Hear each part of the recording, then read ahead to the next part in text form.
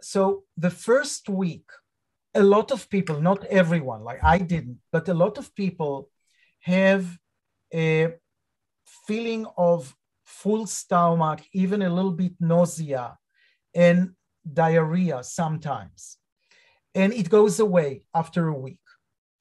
Uh, if it doesn't go away, which happens in three to five percent of the patient, we take them off metformin. We don't know if we're right or wrong, but you know, they're considered that they're not tolerating uh, metformin.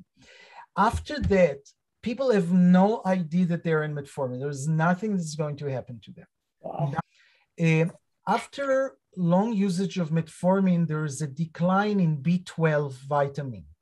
So people, diabetologists, in after a few years of treatment, will exam will see B12, and if it's low, they'll prescribe B12 to their people. So, in other words, yes, there is some of connect, co- connection between um, maybe absorption of vitamin or maybe it's b12 b12 you know every vitamin has their own uh, little story. B12 uh, needs something else from the stomach in order to to get in. But so there is some kind of connection.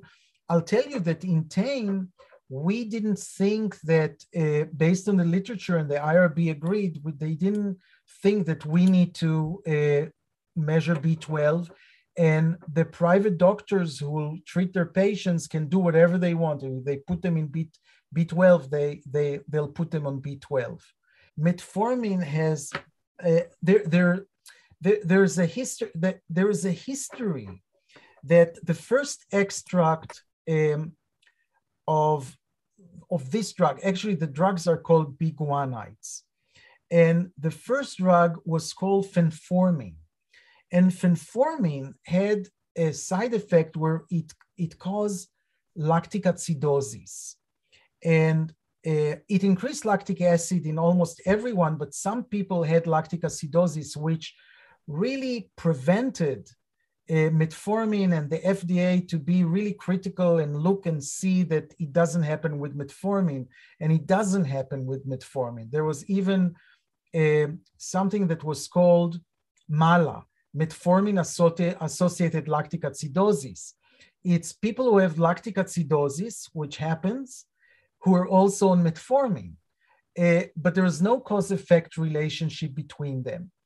And, and there's no adverse side effect that was uh, raising in 80 years that was raising flags.